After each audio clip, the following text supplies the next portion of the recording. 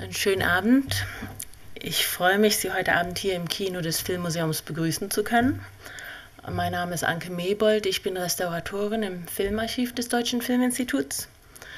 Dies ist das zweite Tonbildprogramm aus dem Filmarchiv des Deutschen Filminstituts, also die zweite Charge singender, sprechender und musizierender Films, die wir Ihnen in digitaler Form öffentlich verfügbar machen aus der Sammlung Neumeier.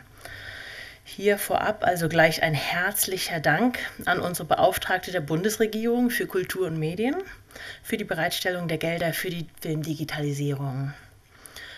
Die Einführung heute Abend konzentriere ich recht stark auf die Hintergrundgeschichte unserer ungewöhnlichen Tonbildfilmsammlung und auf die zwei Produktionsfirmen der 19 Tonbildfilmwerke. Sowohl Alfred Duskes als auch der Gründer der deutschen Bioskop, Jules Greenbaum, sind jüdische Filmpioniere, die in der deutschen Filmgeschichtsschreibung noch nicht die ihnen angemessene Präsenz haben, sondern noch ein wenig Lobbyarbeit verdienen und benötigen, um aus dem Schattenwurf des großen deutschen Pioniers Oskar Mester mal wenig, ein wenig heraustreten zu können und auch eine angemessene internationale und nationale Rezeption zu erhalten.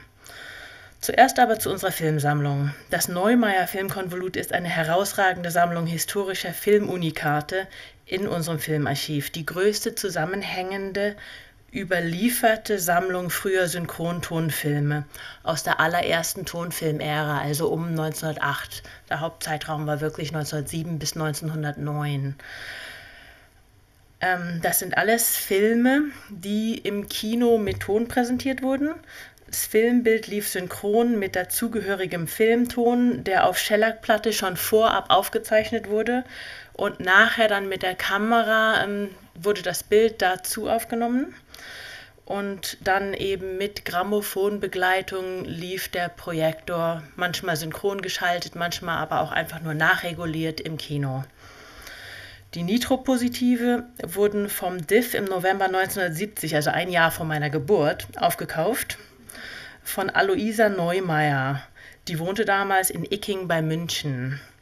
Die historischen Kinokopien lassen sich zurückverfolgen zu Ludwig Neumeier, Aloisas Schwiegervater, einem angesehenen Bierbrauer und Schankwirt aus Straubing, nördlich von München.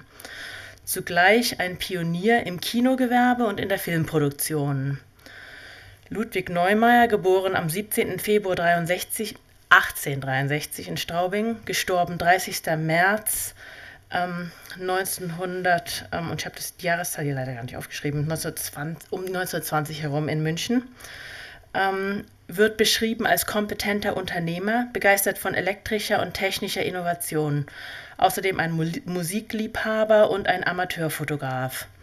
Er war, um es in der heutigen Sprache zu fassen, fasziniert von den jeweils aktuellsten Produkten der Unterhaltungsindustrie, von den audiovisuellen Medien und deren Abspielapparaturen.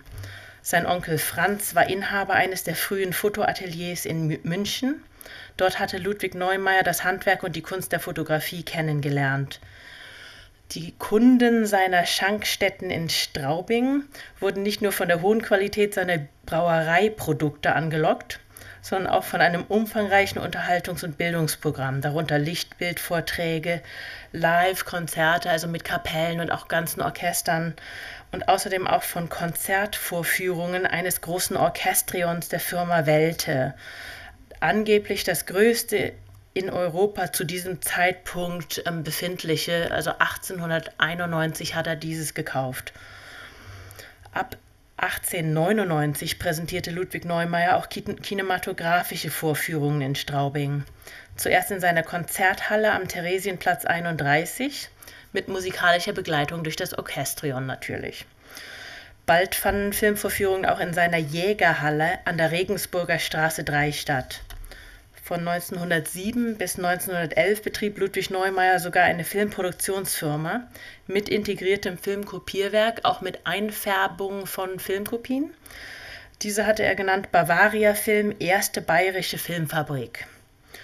Zugleich vergrößerte er in diesem Zeitraum und professionalisierte er seine Filmvorführungsstätten in Straubing. In 1910 eröffnete er das Lichtbildtheater in der Steinergasse 5, ein aufwendig ausgestalteter Zweckumbau von Gaststätte zu Kino.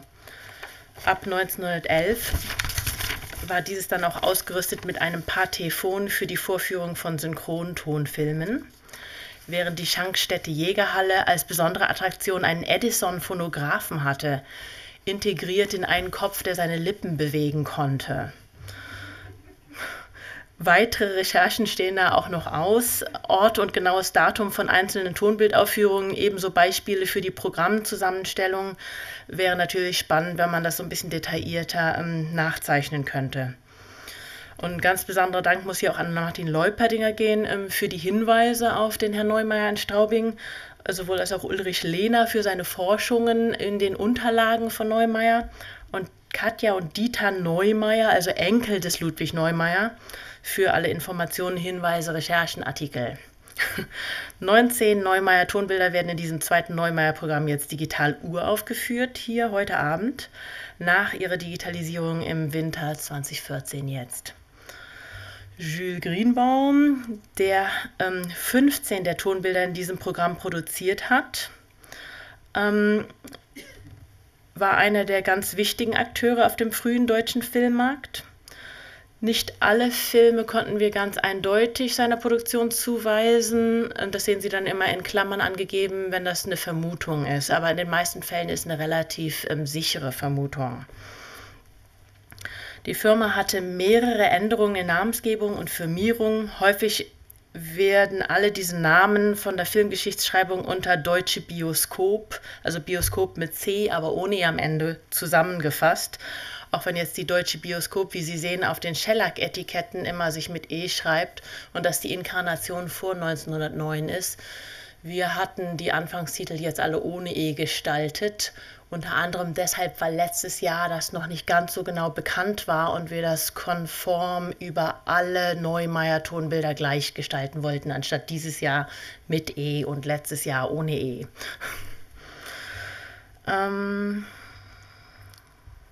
und die Schreibweise mit E verweist natürlich auch stärker auf eine internationale ähm, Netzwerk im Gegensatz zu dieser späteren deutscheren Schreibweise. Ähm, Greenbaum wurde geboren 67, also 1867 in Berlin, hatte einen kurzen Aufenthalt in Chicago von ca. 1980 bis ca. also 1880 bis ca. 1895. Sorry, also von den späten 1880ern bis 1895. 1899, also wieder zurück in Deutschland, gründet er die Deutsche Bioskop. Ab Herbst 1907 engagiert er sich in der Tonbildproduktion ähm, auch ziemlich massiv mit ähm, einer Distribution, die ganz stark im Varieté-Sektor ist, also noch nicht richtig in den Kinobereich vorgedrungen ist, sondern mehr in den wandernden Schaustellerbetrieben und in großen Varieté-Häusern ähm, sich konzentriert. Ähm, die Markteinführung von ihm, die kann man hier sehen. Die ist, ähm, also die Annoncen in der Komet, einem der Schaustellermagazine, ist, ähm, die starten am 14. September 1907. Das sieht man jetzt oben, ähm, dass er da auf das Synchrofonsystem hinweist. Hier nochmal ein bisschen in eine Aufnahme. Und es gibt da ein Zirkular, das uns belehrt und instruiert über das alles übertreffende Synchrophon. Leider hat genau dieses Zirkular mal wieder nicht überlebt, so wie auch seine Vertriebskataloge, also Verkauf oder Verleihe seiner Produktionen. Von den Tonbildern ist gar nichts erhalten, soweit wir wissen und finden. Also ist nichts aufzufinden, außer möglicherweise ein Exemplar in England, was nicht verfügbar ist. Ähm Hier ist auch nochmal eine lobende Erwähnung in der Komödie, die im Qualität seines Filmschaffens hervorhebt, auch seine Nähe zum kaiserlichen Hof, die Güte seiner Produktion. Also bis, bis 1907 hat er eigentlich nur Nachrichtenfilme gemacht und ähm, die jetzt eben dann auch nochmal ankündigen, dass er sich jetzt in den singenden und sprechenden Films engagiert, aber vermutlich auch in anderen Genreproduktionen. Das heißt also im Prinzip dann ähm, Fiction-Filme, also narrative Filme statt nur Aktualitäten. Also Herstellung von sprechenden, singenden, musizierenden, lebenden Fotografien in die Hand genommen und durch hervorragende Künstler ein Repertoire in dieser Spezialität gewonnen, das den höchsten Anforderungen entspricht. Ich hoffe, Sie empfinden das auch so heute Abend. Jetzt ähm, das Synchroskop, so nennt er die Apparatur. Wie wir sehen, im Januar ähm, 1908 ist das ähm, angeblich der einfachste und beste Apparat der Welt für diesen Zweck des Gleichlaufs von Film und Bild. Ähm, und ähm, trotzdem, gleich unten drunter geht es weiter, obwohl es das beste Gerät ist, scheint es immer noch große Betriebsunsicherheiten zu geben. Und daher vergibt er jetzt ähm, das Bijou-Phone auch kostenlos an alle seine Kunden als Retter in der Not. Gratis. Und schön ist natürlich auch die Sprachführung hier. Also das Schauergespenst des Theaterskandals schwebt vor seinen Augen, also vor denen des ähm, Betreibers der Sprechmaschinen, die versagen können. Und ähm, das ist eines der großen Themen, das man auch in der Filmgeschichtsschreibung dauernd findet, ist, wie wie sehr ist der Gleichlauf von Film und Bild gewährleistet. Das hängt teilweise an den Apparaturen, aber teilweise natürlich auch an dem menschlichen Personal, das die bedient. Und es gab alle möglichen Synchronvorrichtungen, also elektrische Synchronisation mit einem elektrisch betriebenen Grammophon und Projektor gleichgeschaltet oder auch eben mechanische Einrichtungen, die einem zeigen, wann die auseinanderlaufen und dann musste der Vorführer am Projektor nachregeln im Prinzip war es auch gar nicht so schwierig, einfach nur am Projektor eine Geschwindigkeit zu regeln, während das Grammophon unabhängig läuft.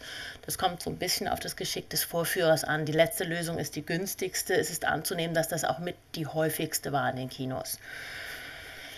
Ähm, kommen wir jetzt nochmal zu dem Ende von der deutschen Bioskop. Also 1908 gerät die in finanzielle Schwierigkeiten. 1909 verkauft dann Jules Greenbaum alle seine Anteile an der deutschen Bioskopgesellschaft und ähm, stattdessen widmete er sich verstärkt seiner deutschen Vitascope-Gesellschaft, ähm, die dann auch Tonbilder produziert. Also er hatte bis dahin auch ein relativ komplexes Firmenimperium geschaffen. Alfred Duskes ist sein Rivale in diesem Tonbildsektor, also neben dem Herrn Messe, den wir heute Abend jetzt einfach mal auslassen. Ähm, und in diesem Programm haben wir vier Duskes Operettentonbilder. Die hat er mit seiner Fabrik für Kinematographen und Films hergestellt. Das Kürzel von ihm ist DSKS. Das sieht man auch immer in den Filmbildern, schön in den Kulissen integriert. Duskes hatte viel Angst vor Piraterie, scheint es, da er in den Anfangstiteln einerseits einen urheberrechtlichen Hinweis macht und zweitens jedes seiner Filme natürlich auch ähm, vor ähm, illegitimen Kopierungen dadurch schützt, dass man deutlich sieht, es ist ein DSKS-Film.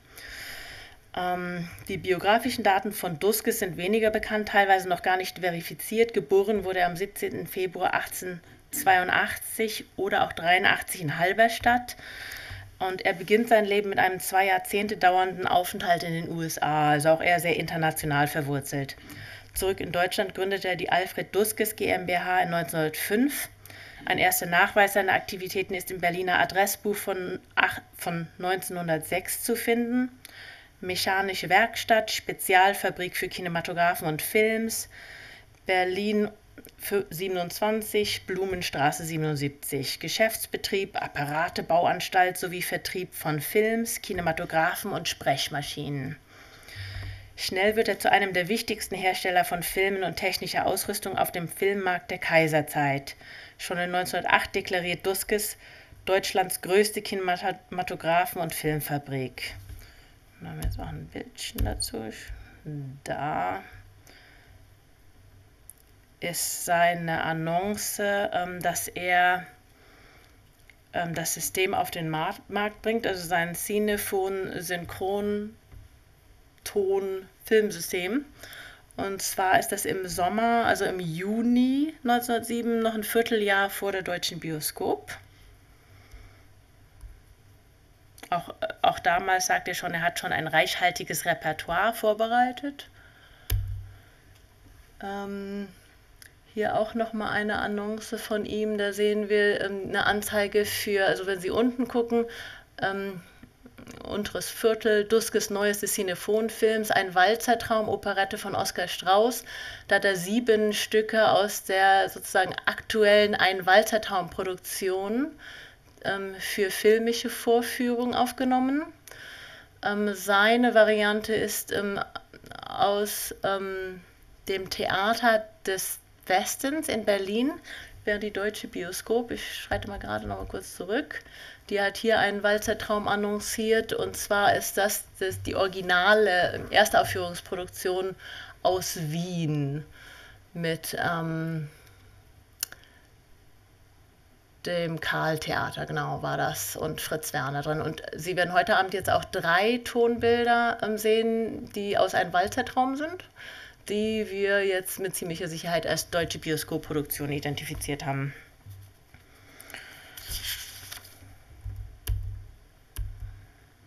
So, zu den ähm,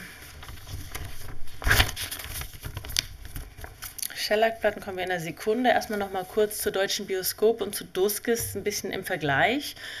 Duskes Filmwerke präsentieren oftmals die genau gleichen Musikwerke wie Jules Greenbaums Tonbilder. Allerdings liegt der Schwerpunkt Duskes auf Operette, während die Deutsche Bioskopgesellschaft ein sehr breit gefächertes Spektrum von dramatischer Oper über Operette bis hin zur Revue präsentiert. Duskes Markenzeichen der SKS sehen Sie ja dann auch immer und die Anfangstitel sind bei Duskes auch großenteils erhalten, im Gegensatz zu den deutschen Bioskopfilmen, die komplett titellos leider sind. Ähm, aber deutsche Bioskopproduktionen haben dafür häufig sehr, sehr elegante, gemalte Hintergründe und ähm, in vielen Fällen auch Startbänder mit Informationen, also handschriftlich überlieferten Informationen zum Musikwerk und oder dem Musikstück, sodass die Zuordnung halt ursprünglich auch überhaupt möglich war. Ähm, eine Logokennung wäre natürlich auch hilfreich im Fall der Deutschen Bioskopgesellschaft im Filmbild, damit man die Identifikation schneller und besser betreiben kann als Archivar heutzutage. Ähm, beide Firmen waren aktiv in Berlin, aber haben auch Aufnahmen in Wien unternommen. Und ähm, die ähm, Bioskopgesellschaft von Greenbaum nutzte Shellac-Platten der deutschen Grammophon und vom Label Odeon, während Duskes mit der Homo Homophon kooperierte, aber auch eigene Originalaufnahmen anfertigen ließ. Also hier hätten wir jetzt nochmal eine deutsche Bioskop, da sieht man auch das Systemnamen Synchroscope. Ähm, die Beschriftung ist nicht immer da, es gibt auch Shellac-Platten komplett ohne Beschriftung. Die Filmnummer ist hier freundlicherweise vermerkt 883, also ist eine spätere Produktion. Ähm, die Ziffer 4,5 bzw. 4 gibt die Anzahl der Umdrehungen an vor Signalbeginn. Teilweise ist es auch auf dem Filmmaterial vermerkt. Das war noch eine Hilf Hilfe, um Bild und Ton einander zuordnen zu können. Und jetzt hier zu einer Duskes-Platte. Ähm, da sieht man Aufnahme der Homophone Company.